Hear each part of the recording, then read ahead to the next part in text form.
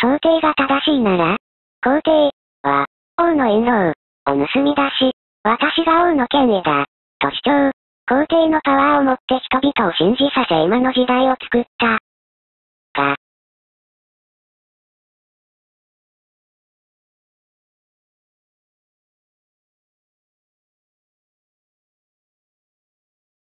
平成の大不景気を招いた。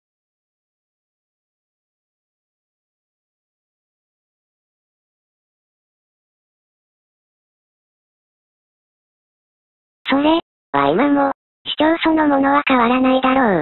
私こそが王の権威である。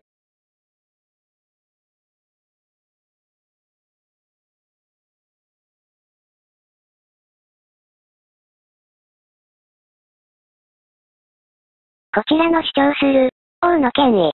それは、王座さん、紛争解決機構として機械化して、神様に同化している。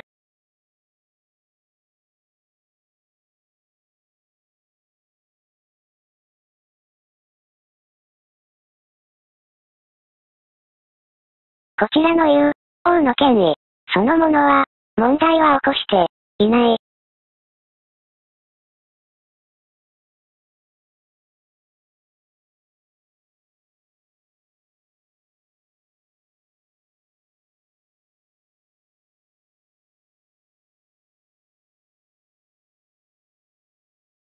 籠池氏が国民の前で追及されるのと同じように、批判、疑念は、王の権威、を狙いつつ、今は、皇帝、へ。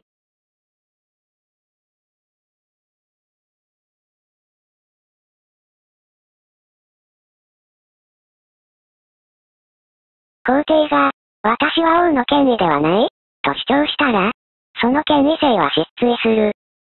皇帝は絶対に言わないだろう。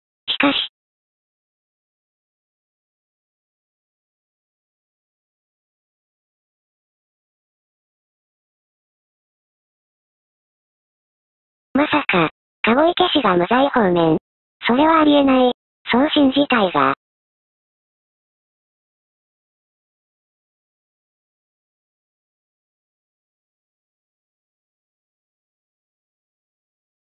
不可能は、可能になるだろうか。